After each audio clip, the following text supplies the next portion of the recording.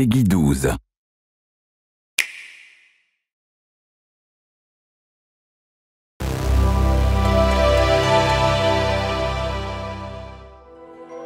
Do you know the name Adol Christin?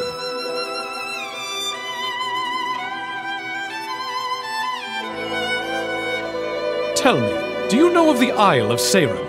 The pirates who first discovered that island declared it cursed ground. We can't escape the island till we rescue every castaway. We made this village together. Long ago, enormous creatures of unimaginable power ruled the earth. These creatures are known as primordials. What was that vision? Or was it just a dream? Red hair like fire.